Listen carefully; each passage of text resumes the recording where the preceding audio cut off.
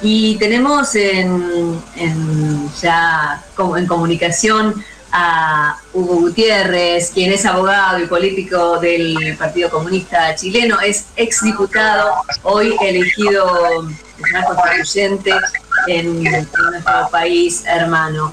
Un gusto, Hugo Gutiérrez, mi nombre es Marian Monzón, estamos con Olivier Rebusén para charlar con usted en este ratito del mediodía. bienvenido.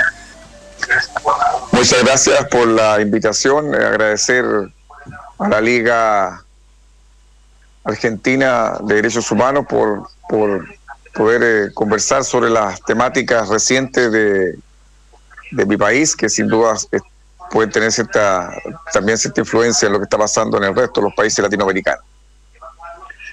Hugo, buenos días. Olivier los saluda desde, desde Buenos Aires.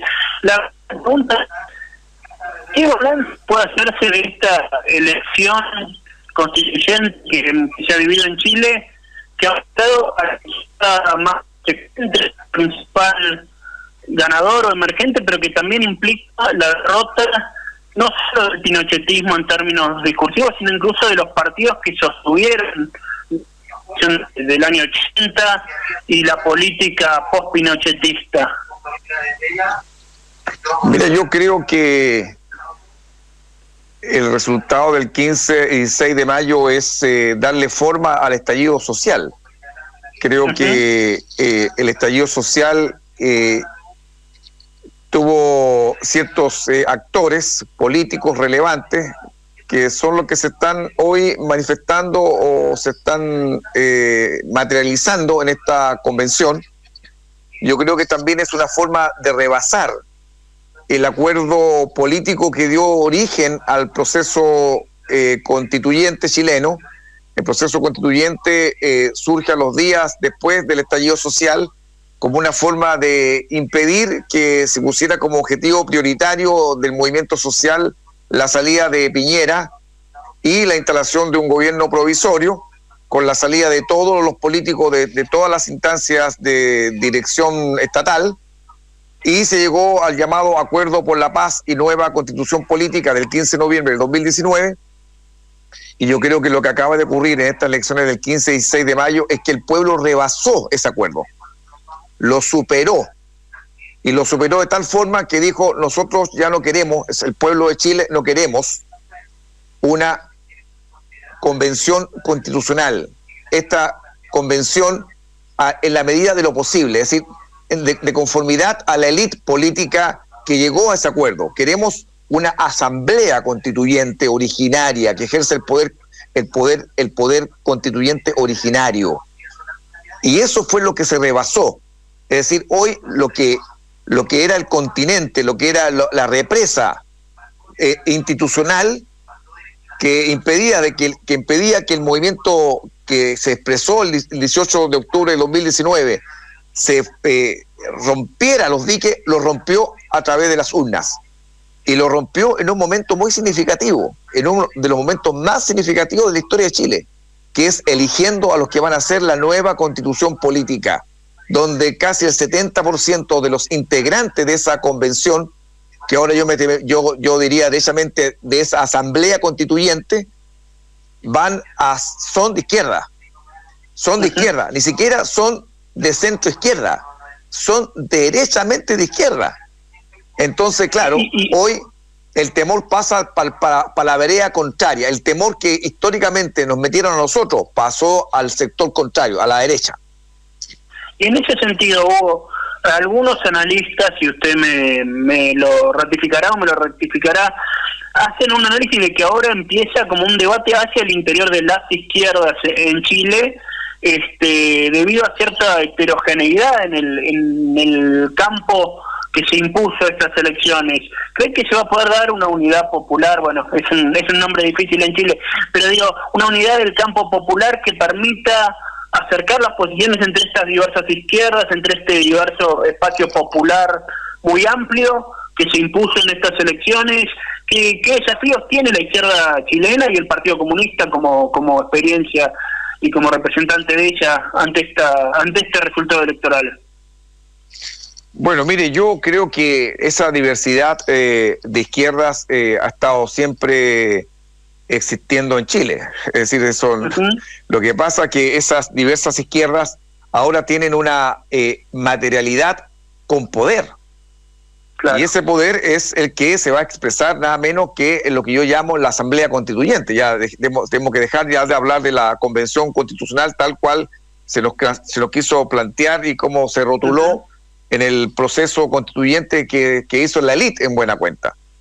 En consecuencia, esas, esas eh, diversas eh, expresiones de la izquierda, creo que tenemos que actuar con generosidad, tenemos que actuar con, eh, con claridad con respecto al objetivo que viene por delante y esta constitución política que vamos a redactar y que va a estar sin duda pensando en, en el pueblo chileno, porque mientras no Mientras, mira, yo lo que pasa con las diversas izquierdas es que a veces pierden, pierden el objetivo prioritario, pero como estas izquierdas que se levantaron son izquierdas que se levantan desde los territorios, es decir, desde la gente, yo creo que no van a perder de perspectiva lo que es lo que es, lo, relevante, que es el pueblo, que es lo que generalmente pierden las izquierdas, porque se, eh, se ponen tan egocéntricas, tan narcisistas, que solo piensan en cómo ellos se reproducen y, pensando en, la coaptación del poder el día de mañana, que olvidan o se olvidan completamente del pueblo y se olvidan de sus sufrimientos, de sus reivindicaciones, de sus luchas y intentan ellos eh, meter las luchas de la gente, meter sus sentimientos en sus pequeñas estructuras o en sus pequeñas eh, eh, visiones ideológicas. Yo creo que la izquierda que está surgiendo en Chile tiene, tiene esa particularidad. Es una izquierda que viene de los territorios, no es una izquierda que viene de una universidad o de un intelectual que se le ocurrió formar un partido político o, de, aquel líder eh, aventurero, no. Son liderazgos que surgen de las ollas comunes, surgen de, los medioambientalistas, ecologistas, de aquellos que han estado históricamente junto a la gente, luchando por sus temas. Yo creo que esa es la particularidad. Es una izquierda, es una diversidad, por supuesto, de izquierda, pero que tiene bien puestos los pies en el suelo. Y yo creo que eso le va, lo va a llevar a actuar todo con generosidad, porque todos entendemos que acá lo prioritario es el pueblo, es la centralidad, y segundo, la capacidad que tengamos de superar esta racionalidad económica llamada neoliberalismo, que en Chile es producto de un consenso, de un consenso neoliberal. Ese consenso neoliberal tiene que ser cambiado. Y el tema es qué consenso vamos a construir para que se materialice en la nueva constitución política. Y eso, sin duda, es va a ser un debate y tiene que darse. Ese es el desafío. Marian, tenía esa pregunta. Sí, gracias. Eh, respecto a esto último, Hugo, eh, estaba preguntándome cuándo comenzarían los debates, en primer lugar. En segundo lugar, también este tema de eh, la salud, la educación, las pensiones, los derechos de los pueblos originarios, que realmente la región es tiene una gran importancia en, cuanto demográfica, ¿no? De población de pueblos originarios, sobre todo en, en el país hermano y la paridad de género, cómo se va a trabajar. Eso por un lado. Y también sobre los presos políticos, qué, mirada tienen sobre los que están aún eh, en prisión, ¿no?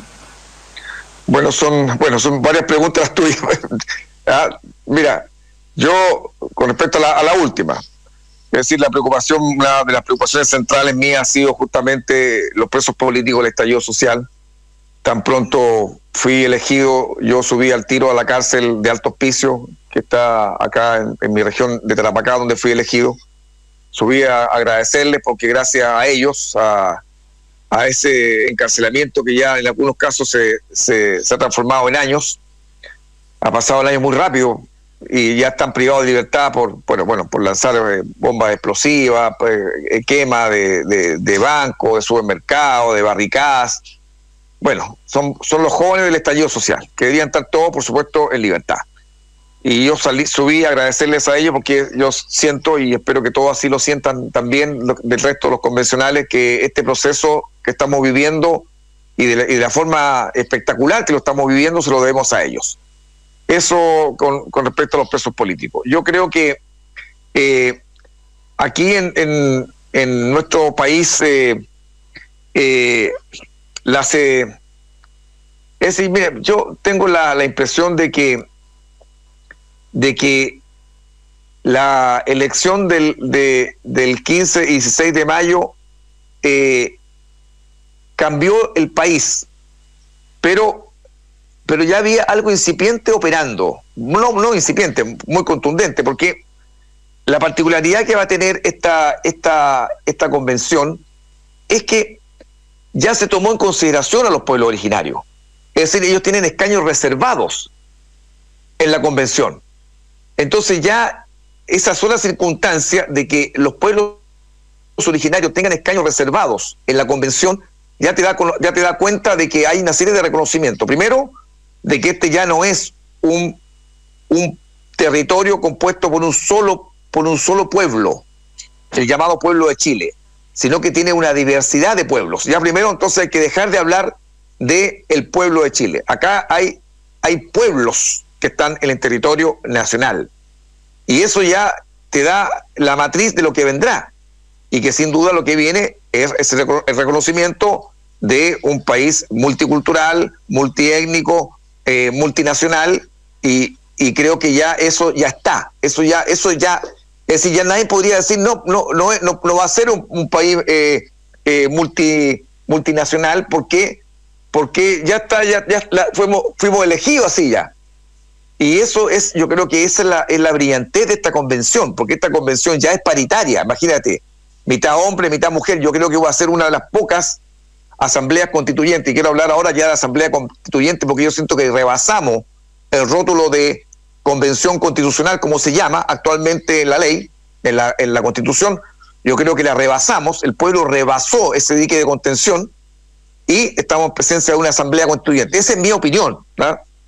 Por supuesto, espero que los restos de los constituyentes así lo entiendan, porque efectivamente estamos avanzando de manera significativa, pero yo creo que el gran logro también estuvo en, en, en, todas las modificaciones que nosotros le introdujimos, y, digo nosotros, y particularmente yo, en la, en la Comisión de Constitución de la Cámara de Diputados, cuando nosotros nos llegó el acuerdo por la paz, que traía un acuerdo de las élites, que habían concordado una salida a la crisis que había generado el estallido social y incluimos una convención paritaria, una, una convención con escaños reservados para los pueblos originarios, una convención donde los independientes tuviesen el rol protagónico, una convención donde los partidos tuvieran, una, tuvieran un rol acotado, una convención donde participaran también los las personas con discapacidad o con capacidades diferentes.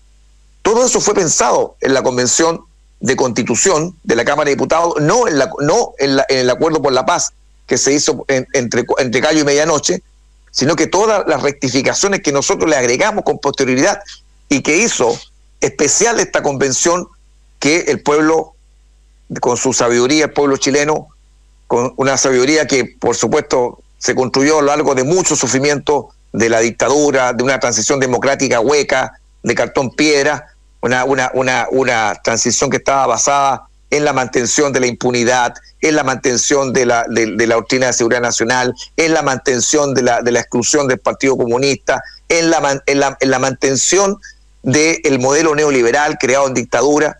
Todo eso que se mantuvo durante la, transición democrática, todo eso el pueblo dijo no queremos más y se fue todo eso al tazo de la basura. ¿Junto con quién? Junto con aquellos que habían mantenido ese consenso neoliberal. Quedaron dando vuelta algunos, pero yo creo que también están destinados al tazo, al tazo de la basura, así que no se dan cuenta de que el pueblo quiere ahora una, un consenso distinto, diverso al consenso neoliberal. Hugo Gutiérrez, diputado chileno, miembro de la Asamblea Constituyente electo el sábado pasado, el sábado y domingo pasados. Chile nos marca un camino de lucha, nos marca una experiencia fundamental, como otros pueblos latinoamericanos que están luchando contra el neoliberalismo. Le agradecemos mucho su participación y también esperamos con ansia que pueda volcar estos estas ideas y estas luchas en la próxima actividad que organiza la Liga el lunes para hablar del lofer del que usted ha sido también víctima, ¿no? La persecución judicial a los opositores. Bueno, gracias por la invitación. Espero estar presente en esa en esa actividad y, por supuesto, contribuir con lamentablemente con la persecución de la que fui víctima porque se pretendió con todas las fuerzas de, los poderes eh, eh, locales, el poder económico, el poder mediático, el poder judicial, el poder de la fiscalía intentaron sacarme de la convención, impedir que yo fuese uno de los elegidos para, para esta convención constitucional que ahora yo llamo con todas sus letras Asamblea Constituyente, por cuanto representaba un peligro para la misma. Pero bueno, aquí estoy, el pueblo me eligió con primera mayoría para integrar la, esa Asamblea Constituyente, así que estoy muy contento de poder integrarla y también, por supuesto, contento de la invitación que ustedes me hacen para hablar del tema del LOFER. Adiós.